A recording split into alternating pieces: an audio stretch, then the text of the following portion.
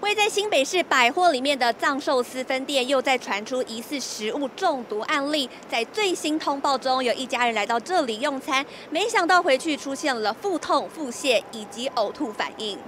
不止四月七号，三月三十一号有客人到新庄红会店用餐，疑似食物中毒。卫生局稽查发现，店里的排油烟罩有灰尘，烘碗机有裂缝等缺失，一名业者限期改善。但不止这间分店，淡水站前店也接连有两组客人用餐后身体不舒服，被发现冷冻库未定期除霜、寿司盘破损等缺失。周二晚间又传出新店玉龙城店又通报两例，短短十天内全台累计通报十三人。他们的呃同品牌的。店家也有被通报是你中毒，所以我们也会一起针对台北市所有的分店都会进行加强稽查。业者发声明表示，全力配合稽查，并承诺持续彻底落实对店铺设备、食材与员工卫生管理。新北市九家分店里有四家缺失，限期改善。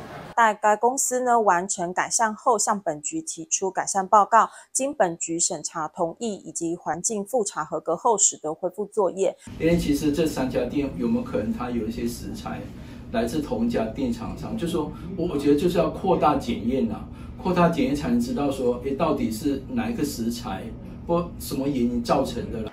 卫福部食药署联合地方政府从四月十一号起加强稽查，不过不仅藏寿司爆出食安问题。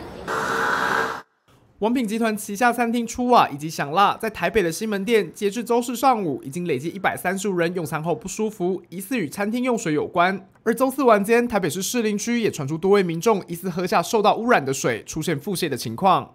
今天晚上九点半为止，那总共有十一位民众就医。呃，就医的民众大部分都是近三四天内有消化道的症状。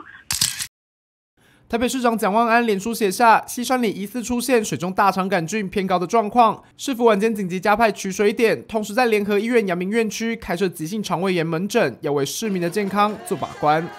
民事新闻综合报道。